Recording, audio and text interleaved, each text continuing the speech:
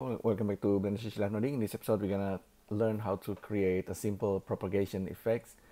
So basically, uh, we're gonna pick like an index of face, and then from that, we just let the effects kind of propagate and delete every other face.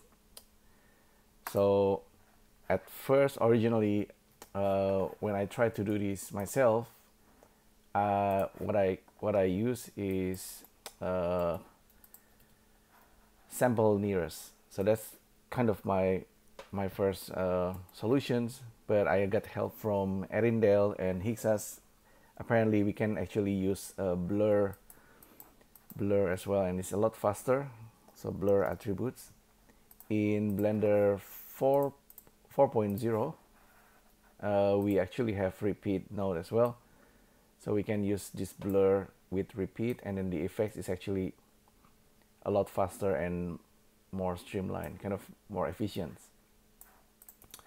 I let me show you. Okay, first of all, this is a, a cube. We don't need this distribute and point to volume, but just that's just for additional effects.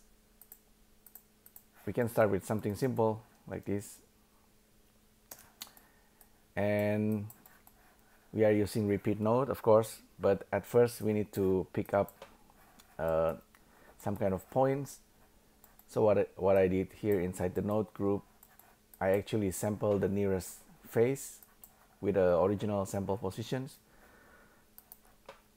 The sample position is you know in this case it's from from this point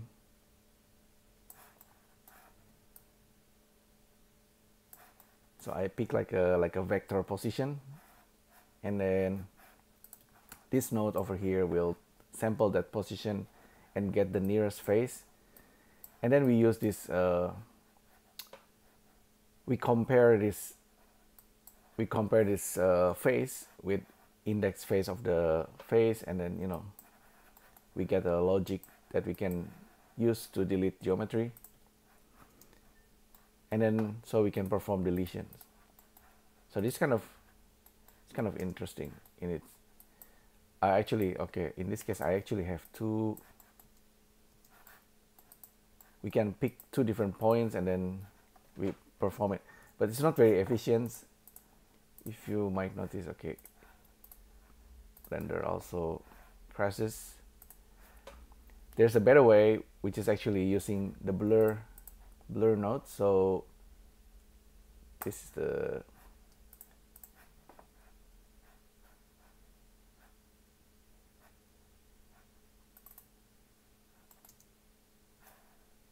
the second example let me ah, index equal. So using index equal it's going to be a lot faster. In this case we can we have Suzanne with the two skins so we have it's gonna refill the inside. But if you use just a simple cube you can see the effects. So this is simpler. Uh, we don't use sample nearest we simply use uh, the blur node. Uh, let's let's simplify all of this. We're gonna pick up a single value index and the blur node is gonna handle the rest. So it's gonna propagate automatically. So at first we pick up uh, a face some kind of index any of the index number. Inside the node group we compare that index and whether it's we com we compare the whole index of the of the objects and then um, with the logic we get a result and then we use we use it with blur attributes and then we just simply iterate on that one. And then we simply delete the geometry in this case. You can also extrude etc but yeah simply by using that we actually have it propagating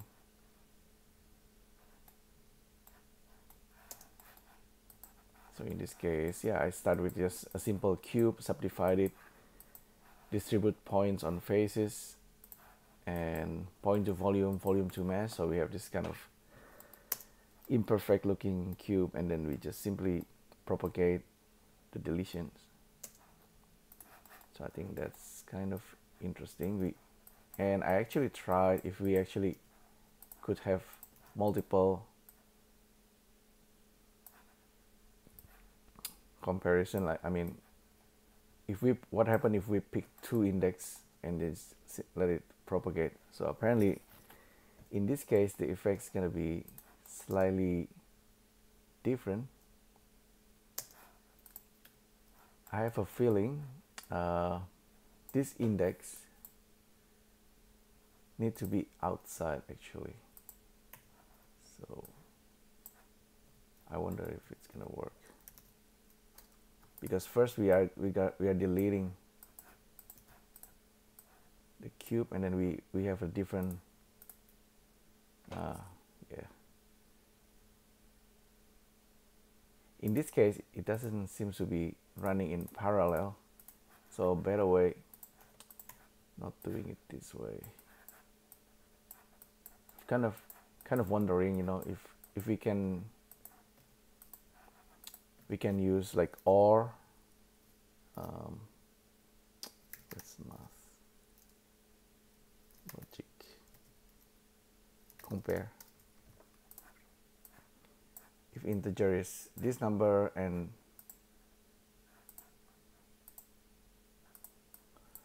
actually use like a math expression oops you know boolean boolean math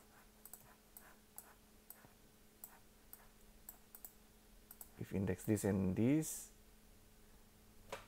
can you iterate?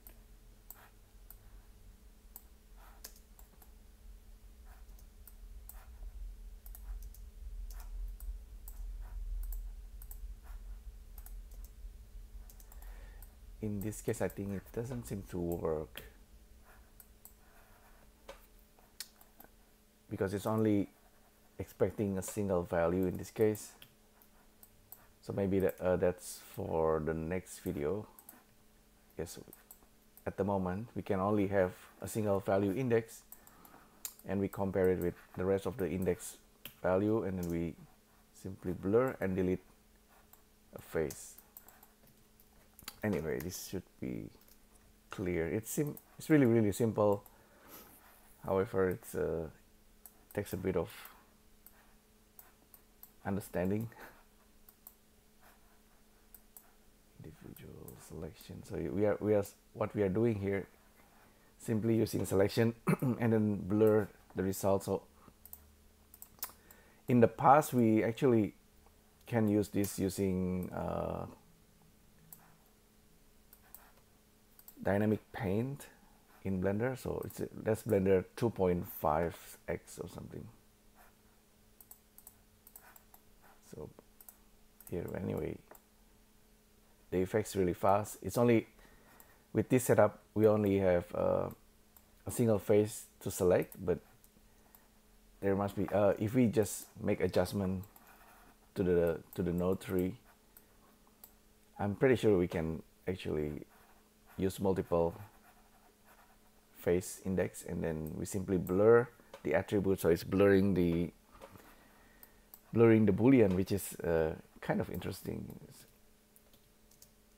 then the value will spread and influence the rest. We get the propagations effects automatically uh, automatically. So thanks to the repeat node actually thanks to the blur node in this case. The blur node and the iterations is happening inside the blur nodes so that's why it's really really fast.